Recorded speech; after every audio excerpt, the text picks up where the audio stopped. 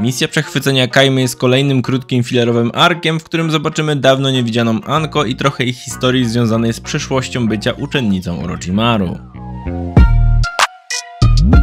Z dobrych aspektów tego odcinka to fajne wejście Shino, typowo badasowe z zaskoczenia. Tak samo Git Shizune podsumowała Tsunade w myślach, że tak naprawdę zebrała ona geninów, którzy byli aktualnie dostępni, a nie mają specjalne zdolności do tej misji, tak jak im wkręcała. Później zobaczyliśmy dowalony efekt przerażenia Anko, która coś tam sobie przypomniała, bo w tym odcinku mowa o tym, że wymazano jej pamięć. I ogólnie muszę powiedzieć, że byłem pod dużym wrażeniem oglądając ten odcinek, bo efekty wizualne wydają mi się tutaj znacznie lepsze niż w poprzednich arkach, nawet kanonicznych. I ostatnim plusem to dziewczyna, która całuje Naruto, żeby dać mu tlen pod wodą. Minusów tutaj nie zauważyłem, tak samo rzeczy niewiadomych, a odcinek oceniłem na 9. Ten odcinek opierał się w większości na poszukiwaniu Naruto, zbieraniu informacji oraz przypominaniu sobie różnych rzeczy przez Anko, która to miała sporo wspólnego z Orochimaru, który ewidentnie maczał palce w tym co tu się działo. To wszystko było w miarę git. Minusem jest natomiast bieda przemiana Isaribi w jakieś coś, nie wygląda to dobrze. W każdym razie trzeba pochwalić Ino za zablokowanie jej drogi ucieczki. Rzeczy niewiadomych tutaj nie zauważyłem, a odcinek oceniłem na 6, trochę przegadany i nie działo się aż tyle plusów to po raz kolejny mamy zwykłego typa, jakiegoś doktorka, który jest psycholem, ale jest bardziej przerażający i obleśny niż ci wszyscy super silni shinobi. Czuć do niego odrazę. Podobał mi się także atak antagonisty w ziemię, który był coś ala falą uderzeniową. Spoko to wyglądało. No i finalnie ta technika ino zrobiła robotę. Gość stracił panowanie nad swoim ciałem i sam się związał w dość przerażający sposób. A dodatkowo budynek się zawalił, więc tak naprawdę gościa tym pogrzebała. Nieźle. Z minusów to bezmyślny Naruto, który pocisnął Isaribi, że właśnie potwór zachowuje się jak ona, skoro zadaje się ze złolami i to w sumie jest niby prawda, ale zbyt hardkorowe to słowa do osoby, która ma psychiczne problemy z tym, że właśnie wszyscy ją tak traktują. Chciał dobrze, ale zbyt ostro poleciał i nawet tego nie wie.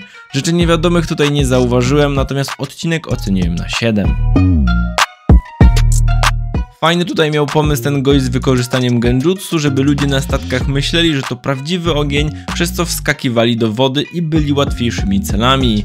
Psychodoktorek też ciśnie Anko, że ta została porzucona przez Orochimaru, bo była niewystarczająco dobra, a teraz przynajmniej wężowaty ma kogoś obiecującego. Zresztą jest on całkiem podstępny, bo rzucił w Anko jakimś słoikiem z gazem, który ją uśpił. Nieźle Naruto także wypłacił liścia Isaribi. Z minusów to ten doktorek zmienił zamienił się też w jakiegoś żabola, co wygląda jak 7 nieszczęść, a Naruto stosuje jakieś oczywiste ciosy, które nie są ani pomysłowe, ani szybkie i są łatwe do skontrowania. Rzeczy niewiadomych tutaj nie uświadczyłem, a odcinkowi dałem ocenę 6. Ciekawe w tym odcinku było to, że Shino rozwalił Yoroiego i jeszcze dał mu się utopić. Naruto poprawił się względem poprzedniego odcinka, bo tu już wykazał się pomysłowością, rzucając wybuchową notkę w olej wypluty przez Gamabuntę, żeby go podpalić, bo nie znał żadnego katona. W sumie w stylu szefuncia było to, żeby ukarać Naruto za to, że ten go przywołał, rzucając go na wiele, wiele metrów w górę, po czym się odesłał na chatę. Szkoda też mi było młodej Anko, która wyglądała przerażająco, jakby nie żyła. Z minusów jednak zakończenie arku jest jak zwykle happy endem, ale bezsensownym, ponieważ Isaribi nie poniosła konsekwencji swoich czynów. Ja rozumiem, że postanowiła być od teraz dobra, ale czy to kasuje te wszystkie napady i morderstwa, których przedtem się dopuściła?